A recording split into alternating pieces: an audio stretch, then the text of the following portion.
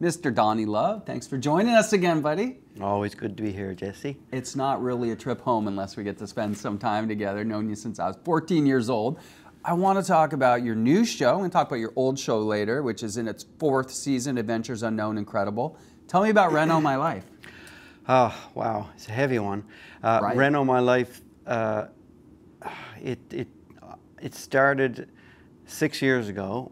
Um, I'll just backtrack and, and fast track. So we had a comedy network contract that was like a millionaire contract, million dollar contract, right? Right. After NTV, you know, that happened, we went on this big ride. Oh, George Street TV, huge national celebrity, yeah. Yeah, so it was CTV, and uh, and then after that we we ended up not getting the contract again because the the facilitators moved on to Comedy Central America, so we were left with nothing, and uh, uh, I wasn't getting any work, and the years were going by, and uh, I ended up uh, crashing hard and losing my house and my car and everything and I went in this real spiral downhill and it was like a kick to the curb.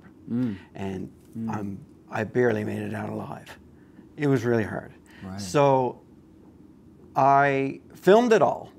so it's funny now, but I, it wasn't at the time. So I filmed it all, Yeah, and like it was a video diary, yeah. yeah, so now five years later, everything has changed, and I renoed my life. And this TV show is all about me when I lost everything and I moved back to my mom's house, living in her basement uh, with no money, no future. Really, really sad, and um, it was a battle to to get to where I am right now.